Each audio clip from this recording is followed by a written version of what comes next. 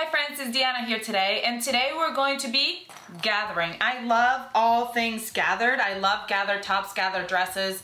I love everything gathered, but gathering can be a little bit of a pain sometimes. Well, I am going to show you how to gather with elastic and it makes the whole gathering process super, super easy. The really cool thing about gathering with elastic is that a lot of times when you're gathering a dress or a top that has a heavy bottom, you want to put a little bit of elastic on your waist for a little bit of more structure to the gown or to the um, top. And so when you gather with elastic, you already have your elastic at the waist. So you already have that stability that you need uh, with elastic. So let's go ahead and get started.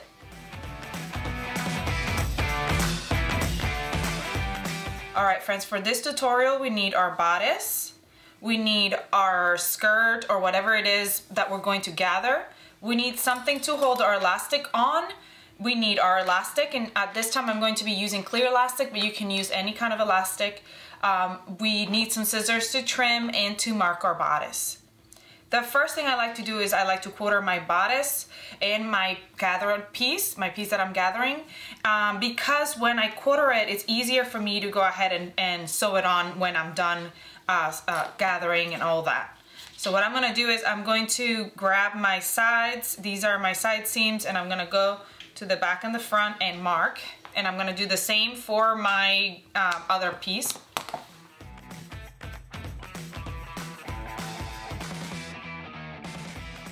To quarter, I like to use a little notch. I just clip a tiny bit with my scissors, enough that I can see it when I'm going to sew them together, but not enough that you'll be able to tell at all when you, after you've done, done sewing. The next step is your elastic. What I'm going to do is I'm going to measure around my bodice. This is how wide I want my gathers to be. I'm gonna go around my bodice and you can use a measuring tape first if you'd like. Uh, you don't pull your elastic, you just put it right on top and you measure all the way around your whole bodice. So I'm gonna do it twice because I'm going around the whole thing.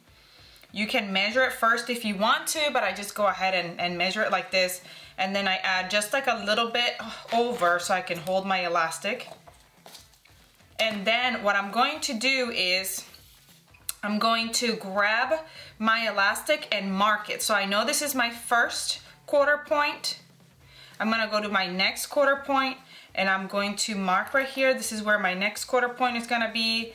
And then I'm gonna do it again. Here's my half, my other quarter point. And then I'm gonna do it again right here. Mark it and then mark it. These guides are gonna help me when I'm going to gather my uh, bodice, I mean, sorry, my skirt. Um, I, you can either do it, mark it with your clips, you can put pins on there, you can mark it with like a uh, permanent marker, I've done that before. You just want something that's gonna show you just exactly where you're going to go next. I always like to start right in the back middle. So I am going to pin right here with a different pin, not one I've already used. And we're gonna go over to my sewing machine and I'm going to attach this elastic by doing a zigzag stitch and I'm going to stretch my elastic all the way to that first quarter point that I marked on my piece to be gathered. So let's go over to the sewing machine and I'm gonna show you how just how I do that. All right, so my clear elastic's right on there, where that's where I'm gonna start. My needle is down. I'm set on a zigzag stitch on my uh, sewing machine. I'm going to put attach my elastic about a quarter inch from the edge. First thing I'm gonna do is I'm gonna stretch my elastic all the way to that first quarter point, which seems, which is my uh, side seam. And what I'm gonna do is see how I already marked it with a pin, that's where it's supposed to go. Since this is such a long stretch, I'm going to mark it about halfway, so right here, and I'm going to go ahead and just put a pin there.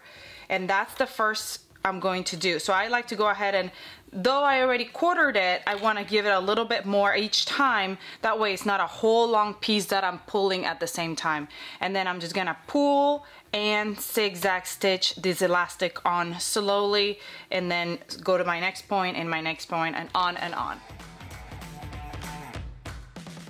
As I am sewing it, I like to hold my part up top and guide it with my other hand so that it doesn't move on me too much.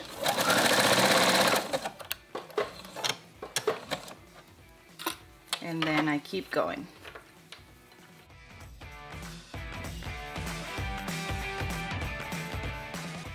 At the end, I just overlap my elastic just a tiny bit with that extra elastic I had. And you could do a back and forth stitch. My sewing machine does a little knot at the end. And we have our gathers. So you can see that zigzag stitch gathers my last my uh, skirt and it gathers it all equally. And it's great for this uh, little amount but it's also really really good for when you're doing a big gather skirt. So now all I have to do is put it right sides together with my bodice and attach all right, so now our skirt is gathered and the really cool thing is we already made quarter points to our skirt. So all we have to do is put it right sides together on our bodice and we're going to match those quarter points that we already made to our bodice and then we'll just go on our sewing machine or serger and sew those right on. No stretching, no worries about our gathers not being even, and we are done. So I hope you enjoyed this tutorial. I was gonna pin it, but I don't have all my clips here. So um, I hope you enjoyed this tutorial. Please let me know if you have any questions. I hope this makes your gathering life a little bit easier. I know it does to me. Um, I hope you make a ton more gather tops and dresses because they are super cute. I hope you have a great rest of your day and I'll see you all next time.